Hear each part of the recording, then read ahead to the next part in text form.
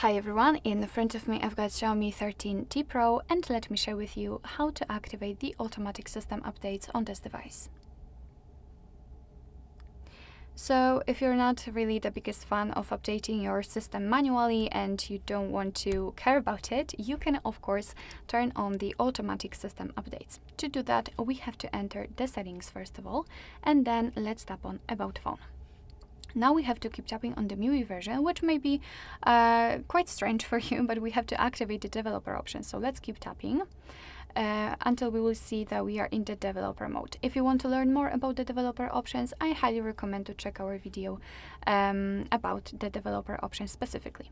After turning them on, we have to go back to the system settings and then scroll down to find additional settings.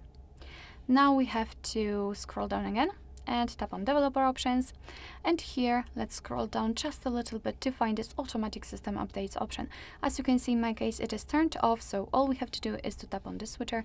From now on this option is active so your device is allowed to apply the updates whenever it will be restarted. So you do not really have to manually mm, manually update your device. However, remember about restarting it from time to time so it will have a chance to actually update uh, the system. Of course, you can turn it off the same way. Alright, so that would be all. Thank you so much for watching. I hope that this video was helpful and if it was, please hit the subscribe button and leave the thumbs up.